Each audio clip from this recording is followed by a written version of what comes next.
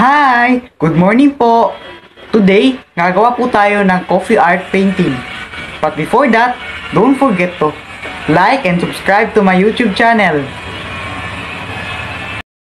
Ito po ang ating mga materials. We need bond paper, ruler, pencil, paintbrush, stick, and cotton buds. And cotton buds and stick is optional na rin po para sa inyo. And of course, ang pinaka-importante, ang kape. So, mag-umpisa na po tayo.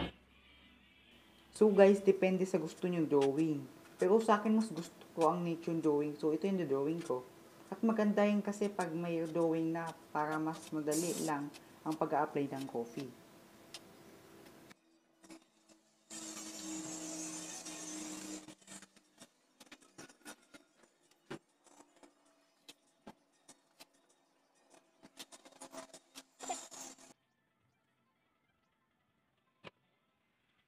Na po ang aking sketch. At ngayon naman po ay at tayo na po ay magko-coffee paint.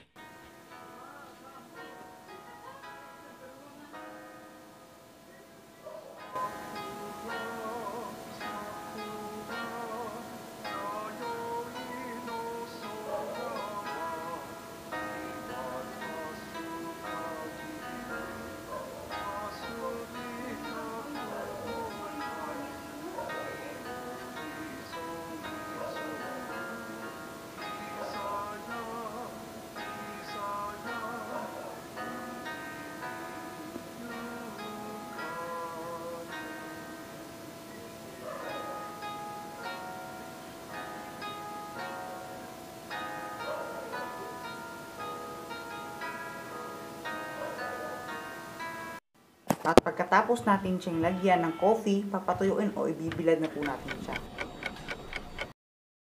So guys, ito na po yung ginawa kong coffee art paint. Thank you for watching!